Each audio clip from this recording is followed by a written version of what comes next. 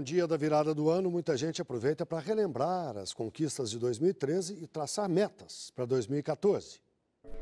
Ano novo, vida nova.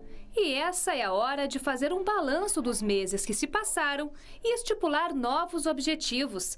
Há quem queira mudar de carro, comprar a casa própria. Mas Sebastião quer mesmo é colocar as finanças em ordem e entrar 2014 sem dívidas. Ele conta que tem dificuldades para quitar principalmente o cartão de crédito e quer se organizar para fazer uma poupança.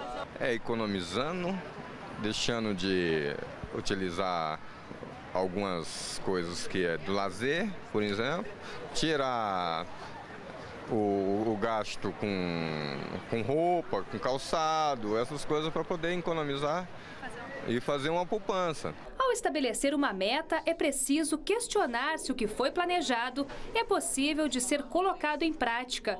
Este especialista explica que é melhor traçar poucos objetivos e evitar frustrações. Eu tenho que olhar, olhar para a minha lista e dizer, olha, não banco isso.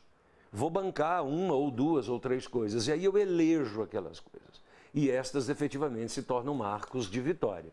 E esse é o grande segredo, né? O grande segredo é o seguinte: tenha marcas de vitória que elas te sustentam para as próximas vitórias. 51% da população brasileira está acima do peso. E claro que muitas pessoas estipulam como meta perder os quilinhos e ficar em forma. E para isso, não tem fórmula mágica nem receita milagrosa. O jeito é mudar os hábitos alimentares e praticar exercício físico. Esta médica nutróloga diz que, se possível, quem quer emagrecer deve procurar a ajuda de um profissional.